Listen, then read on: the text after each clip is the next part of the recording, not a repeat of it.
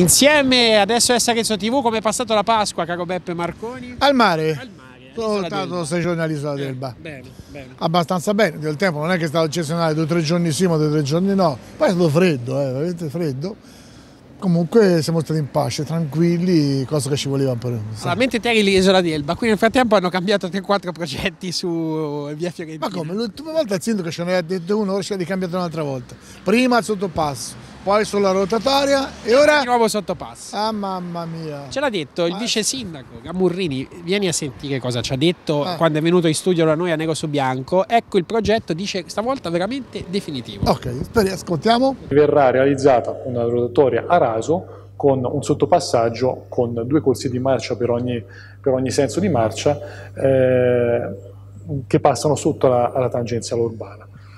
Questa qui è la soluzione definitiva, il sindaco ora ne ha il corrente, però inizialmente sembrava che dovessimo mantenere il semaforo a livello strada perché era più, eh, dava meno problemi dal punto di vista del- delle svolte in sinistra. Quindi hai capito, sparisce il semaforo, si Bene. passa sotto, due, se- due corsie per senso di marcia. Beh, come era il progetto iniziale. Ti piace? Però ha detto che sparisce il semaforo del tutto, si di sopra, mentre prima nel progetto Esatto, vecchio esatto. c'era ancora il semaforo. Certo che ci piace, ci piace veramente e snellirà soprattutto il traffico qui, però ci sono alcune problematiche sicuramente che io spero che l'abbiano presa in considerazione. Ora in questo momento qui non si verificano queste problematiche che ti dirò, però in effetti sono molto molto importanti perché cosa fanno? Bloccano in questo momento il semaforo e domani blo- bloccheranno la rotatoria. Mentre oggi il semaforo eh, sicuramente fa da filtro e quindi le persone intelligenti si fermano, se si gira l'operatore lo vede qual è un problema, no ormai è tardi, e, Una canzone, Eh, Vasco sì. Rossi no? Sì. che diceva... e, e quindi ora il semaforo riesce a, ferma- a fermare un po' di flusso di traffico perché il- colui che viene intelligentemente se vede che dalla parte di qua il- la strada è completamente ostruita dalle macchine aspetta ad invadere il- l'incrocio un domani essendo una rotatoria succederà che succede in, eh, nella rotatoria a sette punti dove quando è chiuso il passaggio a livello per il passaggio dei treni a certe ore la fila delle auto invade la rotatoria e crea le problematiche. Quelli che sono sul raccordo poter attraversare appunto la rotatoria stessa. Però dice che hanno studiato i flussi.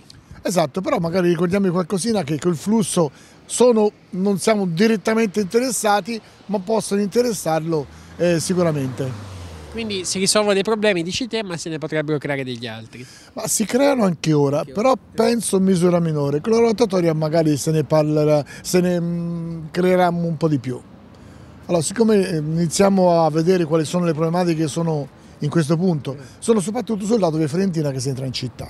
Perché il primo problema di cui possiamo parlare è, sono i due incroci che sono veramente lì, eh, su, sul, eh, i due innesti, scusa, che sono sull'incrocio.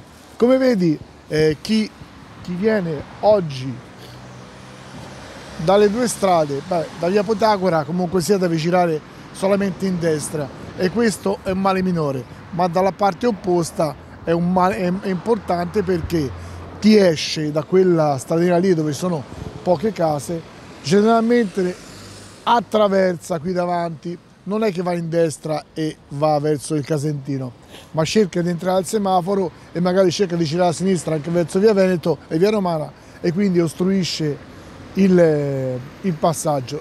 Questo sicuramente sarà un problema che verrà evitato dalla rotatoria, perché eh, entrando direttamente in rotatoria potranno evitare di fare tutte queste problematiche, quindi questo sarà un problema che verrà risolto abbastanza agevolmente, ma comunque c'è e devono considerare anche questo innesto. E chissà, se l'avranno considerato, comunque magari torneremo a chiedere alla fine se è questa la, penso di sì, l'ultimo scenario e quindi magari ne riparleremo. Va bene?